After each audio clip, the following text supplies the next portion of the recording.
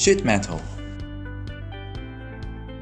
In ZW3D 2022, there are many new features and enhancements. Now, let's take a look. New version allows you to predefine the global attributes before starting the sheet metal design. To be more specific, you can not only define the global thickness, radius, and K factor, but also the relief type and values. What's more, you can decide whether to do the corner treatment and the specific attributes.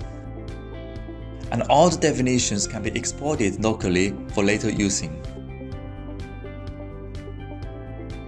After that, you will find that all the parameters and options are consistent with global definition automatically.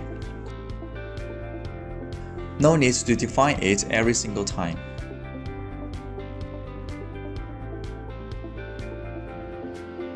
When design is finished, normally we need to make a flat pattern for the manufacturing process.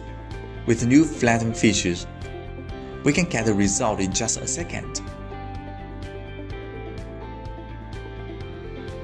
Then you can export it to DWG or DXF for further using. New sheet metal features will save more time but generate more productivities.